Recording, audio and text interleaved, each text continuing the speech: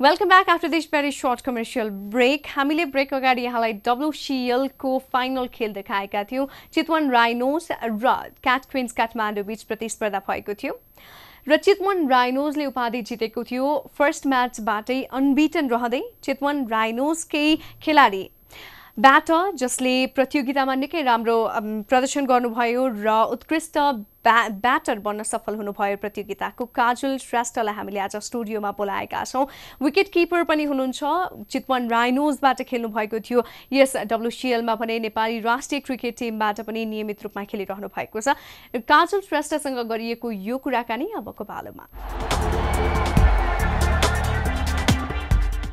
welcome to the show thank you first of all त congratulations एकदमै धेरै धेरै बधाई छ यहाँहरूलाई थ्याङ्क यू सो मच कस्तो भयो ओभरअल एक्सपिरियन्स फर्स्ट एक्सपिरियन्स हो अब यत्रो ठुलो गेम खेल्ने नि डब्लुसिएलले एउटा नयाँ जो नयाँ अपर्च्युनिटी दिएको छ आफूले जस राम्रो फिल भयो फर्स्ट टाइम लाइभ गेम खेल्दाखेरि रमाइलो भयो एकदमै रमाइलो भयो त्यसमाथि टिमले पनि जित्यो तपाईँले पनि राम्रो खेल्नुभयो होइन हजुर फेरि पनि बधाई छ।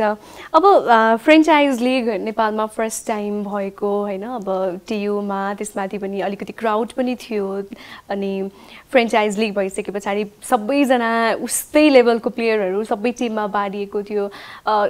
गेमभन्दा अगाडिको एक्साइटमेन्ट चाहिँ कस्तो थियो? राम्रो अब सबै टिमको राम्रै थियो नि अब हाम्रो चाहिँ ठिकै ब्यालेन्सवाला टिम थियो। जे होस् राम्रो रिजल्ट आयो त्यसमा धेरै खुसी थियो। गेमभन्दा अगाडि चाहिँ हुन्छ नि नर्भसनेस मैले कतिजना प्लेयरहरूसँग अफेयरमा कुरा गर्दा पनि अहिलेसम्म गेम इन्टरनेसनल खेल्दा पनि यति नर्भस भएको थिएन। एकदमै नर्भस खालको भइरहेछ भन्ने खालको कुराहरू गरिरहनु भएको थियो होइन? कस्तो थियो स्टेट अफ माइन्ड त्यति बेला? त्यतिखेर त नर्भसै थियौँ किनकि फर्स्ट फ्रेन्चाइज लिग थियो नि अब live first time live game खेल्नु भनेको अब हाम्रो लागि त ठुलै कुरा थियो अनि त्यही भएर चाहिँ हल्का नर्भस चाहिँ थियौँ। अनि अब गेम खेल्दै जाँदा खेल्दै जाँदा चाहिँ अब राम्रो राम्रो हुँदै हुँदै गएपछि चाहिँ राम्रै भयो। ओके एकैछिन अब टिमको कुरा गरौँ होइन? अब चितवन राइनोज फर्स्ट म्याचबाट एकदमै पोजिटिभ देखिएको थियो अब अनबिटन भएर नै टाइटल जित्यो होइन? ओभरअल आफ्नो टिमको पर्फर्मेन्सको बारेमा चाहिँ के भन्नुहुन्छ? सबैले आफ्नो हन्ड्रेड पर्सेन्टै दिएको हो नि। अब सबैले आफ्नो हन्ड्रेड हन्ड्रेड पर्सेन्ट दिएरै हामीले जित जितेको हो भन्नु पर्यो। स्ट्रेन्थ टिमको स्ट्रेन्थ चाहिँ के जस्तो लाग्छ? बलिङ नै थियो बलिङ फिल्डिङ अनि ब्याटिङ पनि थियो सबै। अब एकजना नचले पनि अर्कोले थामिदिने खालको टिम थियो क्या हाम्रो चाहिँ। त्यही भएर चाहिँ सायद हामीले जितेको हुनसक्छ। जस्तो अब फर्स्ट म्याच भयो यहाँहरूको होइन? फर्स्ट म्याचमा टिमले त जित्यो बट कम्पेरिटिभली यहाँको ब्याटिङ चाहिँ राम्रो हुन सकेको थिएन फर्स्ट म्याचमा तर पछि इभेन्चुअली चाहिँ बेस्ट ब्याटर नै बन्नुभयो होइन?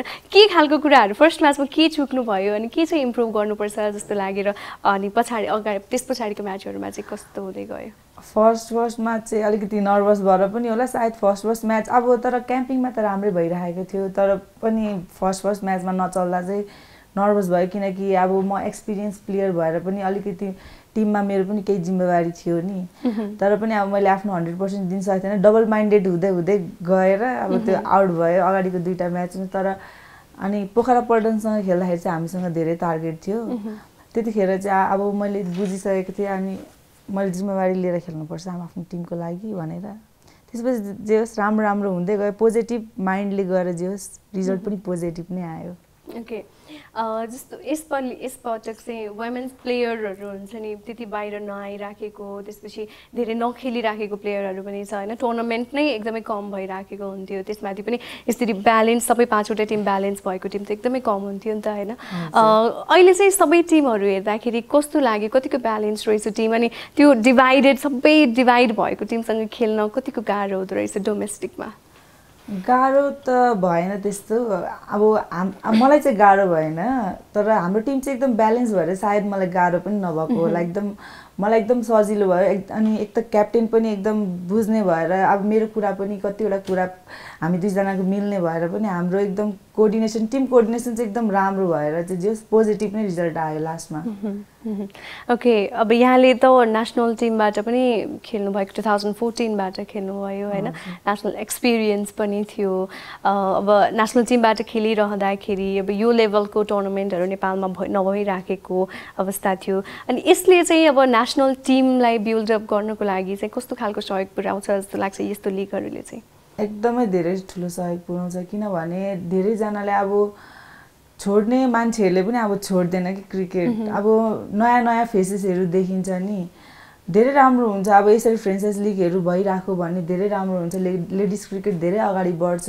रिजल्टहरू पोजिटिभ आउँछ इन्टरनेसनल लेभलमा पनि। अब यो साग गेम हुन लागेको छ हाम्रो। त्यसको लागि पनि हाम्रो यो यो डब्लुसिएलले गर्दाखेरि धेरै राम्रो एउटा अपर्च्युनिटी भयो नि। नयाँ नयाँ फेसेसहरू देखियो। को को कतिको क्याप कोसँग कति क्यापेसिटी छ भन्ने बुझियो। धेरैवटा कुराहरू जे होस् कोचेसहरूले पनि बुझ्ने मौका पाउनुभयो। यहाँको टिमलाई हेर्दाखेरि चाहिँ अब कञ्चन अर्को अर्को एन्डमा हुनुहुन्थ्यो तपाईँसँग ब्याटिङ गर्दा होइन? ओपनिङ नै यहाँको सब ब्याटिङमा स्ट्रेन्थ हेर्दाखेरि ओपनिङ पार्टनरसिप नै एकदमै राम्रो देखिराखेको थियो होइन?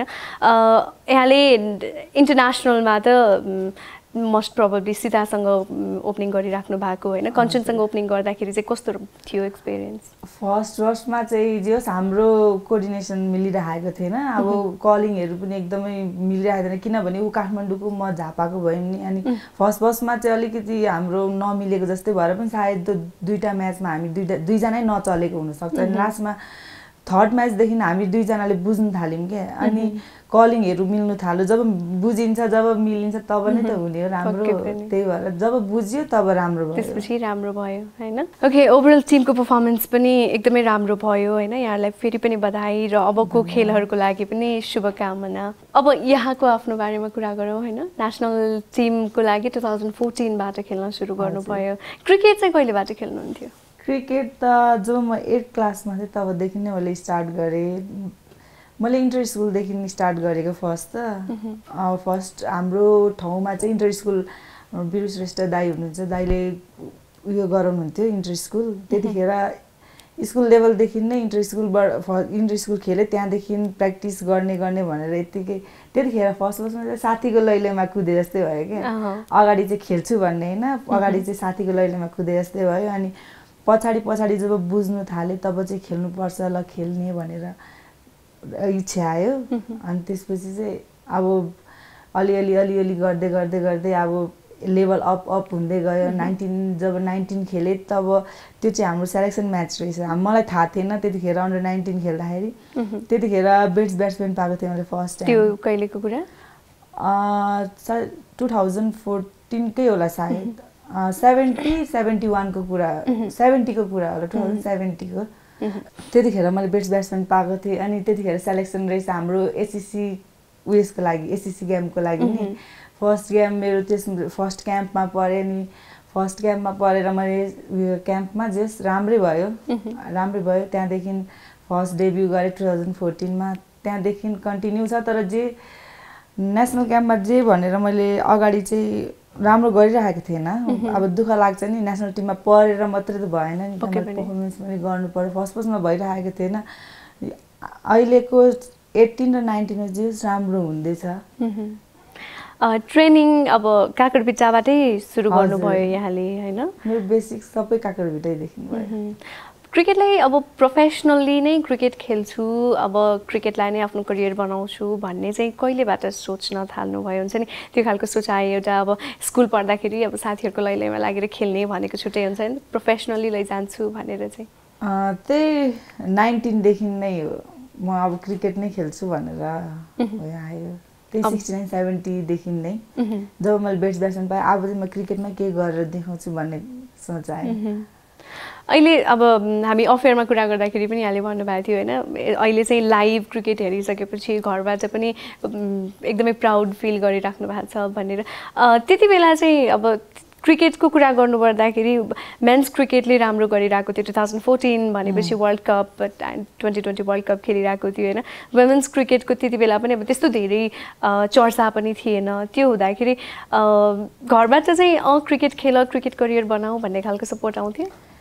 फर्स्टमा चाहिँ अब त्यो बेसिक लेभल हुँदाखेरि अलिकति फर्स्ट फर्स्टमा त अलिक सपोर्ट नभए जस्तै भयो। अनि जब त्यो नाइन्टिन जब मैले ब्रिड्स ब्याट्सम्यान भएँ त्यहाँदेखि चाहिँ मलाई फुल सपोर्ट आउनु थाल्यो घरबाट। त्यतिखेरदेखि चाहिँ मलाई अहिलेसम्म फुल सपोर्ट छ। त्योभन्दा अगाडि चाहिँ सायद मैले पाइनँ। त्य त्यस्तो साह्रो सपोर्ट पाइनँ। सपोर्ट पाइनँ भन्दा पनि सेभेन्टी फाइभ पाएँ ट्वेन्टी फाइभ जति चाहिँ अलिकति इग्नोर अहँ। गरे जस्तै गर्नुहुन्थ्यो। करियर होला र होला र टाइपको गर्नुहुन्थ्यो बाबा बाबाले।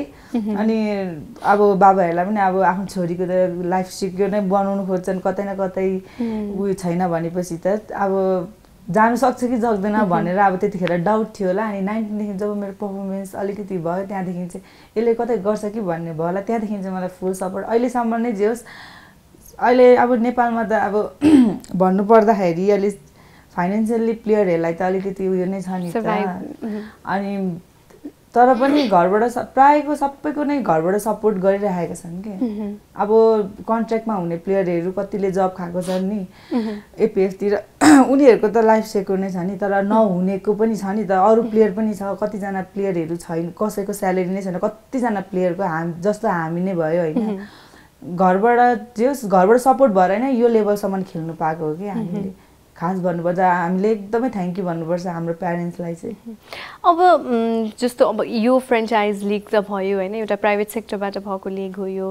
अब चाहिँ अब यहाँले भन्नुभयो जस्तै यो डिपार्टमेन्टल टिममा नभइकन क्रिकेट खेलेर मात्रै अथवा कुनै पनि स्पोर्ट्स खेलेर मात्रै सर्भाइभ गर्नको लागि फाइनेन्सियल्ली स्टेबल हुनको लागि चाहिँ अब के कस्तो खालको कुराहरू भइदिए हुन्थ्यो भन्ने एक्सपेक्टेसन छ यहाँलाई चाहिँ। त्यही हो यो फा के परे फ्रेन्चाइज लिगहरू बढी भयो। यो जति हाम्रो फ्रे यो फ्रेन्चाइज लिगहरू बढी भयो त्यति हामीलाई राम्रो पनि हो नि। ज जति हामीले डोमेस्टिक गेम खेल्नु पायौँ त्यति हाम्रो क्रिकेट पनि राम्रो हुन्छ। तर हामी फाइनेन्सियली पनि अप जान्छौँ फाइनेन्सियली पनि। अनि अलिकति सरकारले पनि हामीलाई हेर्दै हुन्थ्यो जस्तो फिल हुन्छ। अलिकति हामीलाई हेरिदियो भने हामीलाई फाइनेन्सियल्ली हामी अलिकति स्ट्रङ भयो भने हामी कोही माथि डिपेन्डेन्ट भएनौँ भने धेरै राम्रो हुन्थ्यो होला हाम्रो क्रिकेट भन्ने कुरा हो। हामीले अगाडि थ्री टु फोर आवर्स दिन्छौँ भने क्रिकेटलाई हामीलाई फाइनेन्सियल्ली हामीलाई स्ट्रङ बनाइदियो भने हामी फाइभ टु सिक्स आवर पनि दिन सक्छौँ भन्ने कुरा हो। कम्प्लिटली क्रिकेट मात्रै खेलेर सर्भाइभ। गर्नु। हामीले जब भन्ने चिज खोज्नु पर्दैन। अहिले हामी क्रिकेट त हाम्रो पेसेन्स हो। हामी खेल्छौँ ल ठिक छ नि। तर हामीले बाँच्नको लागि पनि केही ठाउँ हेर्नुपर्छ। अनि त्यसपछि त्यसको लागि हामीले जब सब हेर् सेकेन्ड अप्सन हेर्नुपर्छ हामीले गर्नै। पर्छ। अनि त्यही भएर जे होस् हामीलाई अलिकति फाइनेन्सियली स्ट्रङ गरिदियो भने चाहिँ क्रिकेटलाई नै फुल टाइम दिन दिनु पाए झन् राम्रो हुन्थ्यो कि हामीले अहिले योभन्दा अझै हन्ड्रेड पर्सेन्ट दिँदा दिँदाखेरि झन् राम्रो हुन्थ्यो कि भन्ने कुरा हो कि। त्यति मात्रै। त्यति भए चाहिँ हामीलाई एकदमै राम्रो हुन्थ्यो। सरकारले पनि अलिकति हेरिदिए। अब यो फ्रेन्चाइज लिगहरू जति धेरै हुन्छ त्यति नै हामीले राम्रो पनि हो भन्ने कुरा हो। दुईतर्फ एउटा। एकतर्फ फाइनेन्सियली पनि भयो अर्कोतर्फ यहाँ। गेम नै पनि राम्रो हुने भयो होइन। कम्पिटिसन्सहरू धेरै हुँदै गइसके। पछाडि। ओके इन्टरनेसनल पनि यहाँले खेलिसक्नु भएको छ नेपाल नेपालको लागि होइन? भर्खरै मात्र थाइल्यान्ड टुरबाट पनि फर्किनु भएको छ। अलिक अलिक समय अगाडिबाट Asia cup qualifier Nepal qualify चाहिँ हुन सकेन। सेकेन्ड भयो होइन? इन्टरनेसनल गेमहरूमा चाहिँ नेपाली टिमलाई लिएर पर्फर्मेन्स वाइज यहाँको चाहिँ अब यहाँले चार पाँच वर्षदेखि खेलिराख्नु भएको छ भनेपछि समहाउ युवर एक्सपिरियन्स्ड होइन? स- सरसरी हेर्दाखेरि वुमेन्स टिम चाहिँ कुन लेभलमा छ जस्तो लाग्छ इन्टरनेसनल्ली एकदमै राम्रो छ। अब अझै डोमेस्टिक गेमहरू धेर भयो भने सायद हामी क्वालिफायर पनि हुन्छौँ जस्तो लाग्छ। हामी थाइल्यान्ड टिमलाई आरामले जित्छौँ पनि जस्तो लाग्छ। अलिकति यस्तै गेमहरू गे यो फ्रेन्चाइज गेमहरू अरू डोम डोमेस्टिक गेमहरू धेर भयो भने सायद हामी जित्छौँ जस्तो लाग्छ अरू कन्ट्रिजहरूलाई मेन त हामीलाई थाइल्यान्डसँग नै हारेको। थाइल्यान्डलाई हाम्रो त्यही नै हुन्छ। सबै जितिरहेको छौँ अनि लास्टमा गएर थाइल्यान्डसँग। हारिरहेको हुन्छ। Why do you think that is Thailand हामीभन्दा स्ट्रङ टिम भएर अथवा चाहिँ हाम्रो स्ट्रङ नै छ भन्नुपर्दा त तर हामीले अलिकति धेरै प्र्याक्टिस पायौँ र अलिकति धेरै उयो पायौँ भने थाइल्यान्डलाई पनि बिट गर्छौँ हाम्रो टिमले। हाम्रै टिम हो जो थाइल्यान्डलाई भारी पर्छ पर्छ लास्टमा आएर कि। अलिक धेरै प्र्याक्टिस भयो भने अलिकति धेरै गेम एक्सपिरियन्स अलिकति धेरै गेम भयो भने चाहिँ हामीले जित्छौँ थाइल्यान्डलाई। ओके। ओके काजुल हामी करिब करिब अन्ततिर पनि आइपुगिसकेका छौँ होइन? अब अलिकति यहाँकै बारेमा सोध्न मन लाग्यो मलाई। ब्याटर प्लस विकेट किपर पनि हुनुहुन्छ। यहाँ होइन? विकेट किपिङ मैले पर्सनली पनि मलाई एकदमै राम्रो लाग्यो मैले यो डब्लुसिएलमा हेरेको थिएँ होइन? वाइ विकेट किपिङ तपाईँ विकेट किपिङ रोज्नुको पछाडिको रिजन चाहिँ?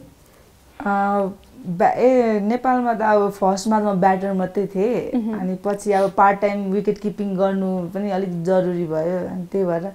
अनि मेरो कोचले पनि अलिकति विकेट किपर गर अलराउन्डर पर्फर्मेन्स हुन्छ भनेर भन्नुभयो। अनि त्यही भएर त्यतिकै त्यतिकै विकेट किपिङ चाहिँ मैले पार्ट टाइमलाई रोजेको थिएँ तर इट ह्यापन्ड होइन। अहिले चाहिँ। अहिले चाहिँ आएर किपिङै अगाडि भयो। किपिङ नै अगाडि भएको छ। एनिवे यहाँको एकदमै राम्रो पर्फर्मेन्स भयो डब्लुसिएलमा अनि एकचोटि फेरि पनि बधाई र आगामी. क्रिकेट करियरको लागि शुभकामना। Thank you thank you so much well in Vividh sporting हाइलाइट्सहरूसँगै आजको कार्यक्रमबाट भने हामीले बिदा माग्नुपर्ने बेला भइसकेको छ। अर्को हप्ता फेरि पनि यस्तै विविध स्पोर्टिङ हाइलाइट्सहरू लिएर फेरि पनि आउनेछौँ। तबसम्मको लागि thank you for watching keep loving sports That's a double yeah. slip dog.